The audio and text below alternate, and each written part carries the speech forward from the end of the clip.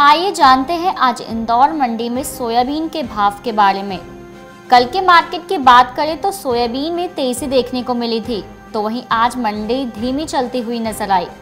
तो इंदौर मंडी में बात करते हैं क्वालिटी अनुसार भाव की। आज इंदौर मंडी में सोयाबीन का बढ़िया माल 8,500 से 9,800 रुपए प्रति क्विंटल बिका है।